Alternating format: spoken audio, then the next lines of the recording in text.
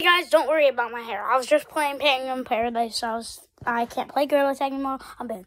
This is a warning for people that play Gorilla Tag. Okay. The bots. I'm gonna be doing research of who made them. So we don't have to deal with them anymore. Like and subscribe to both of my channels, Debbie Debs and this one right here that I'm using right now.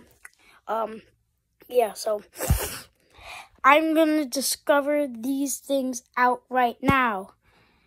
You don't believe me? I'll do it. Yeah. Well, I gotta uh figure some stuff out. Peace.